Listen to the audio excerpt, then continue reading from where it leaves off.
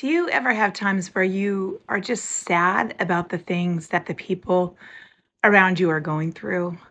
I have a friend and a, a family I'm working with right now where they are just having a lot of things going on that just impact their life in every area. And my heart breaks for them. It's a heavy burden to bear.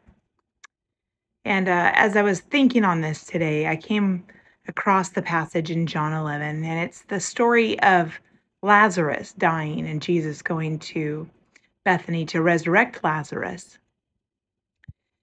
Part of the story is um, the questioning by Mary and Martha, Lazarus' sisters, about if Jesus had only been there, if if Lazarus would have died, if he could have saved him, um, they actually weren't questioning. They were basically saying, "You you should have been here. You could have done this."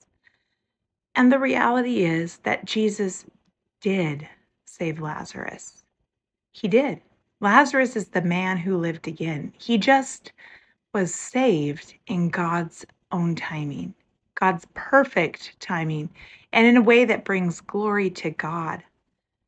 I wonder as I look at this family and this friend about what is happening. Some things just seem so coincidentally bad timing. But then we realize that timing is often from our perspective and not God's perspective. God is faithful. God is so good.